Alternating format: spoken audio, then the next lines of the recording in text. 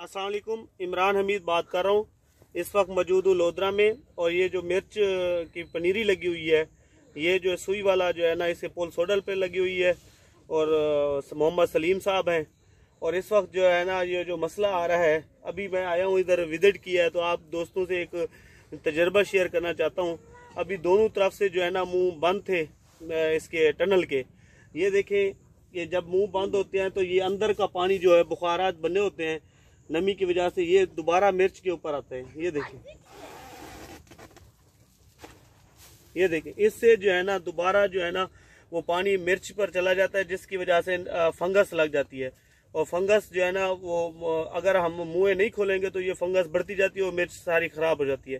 तो इससे हमने पहले आके ये मुँह जो है ना, वो खुलवाया, मुँह खुलवाया, इसके जहाँ से ओपनिंग और फिर उधर से खुलवाया, ताकि ये जो है ना, वो गैस खत्म हो जाए।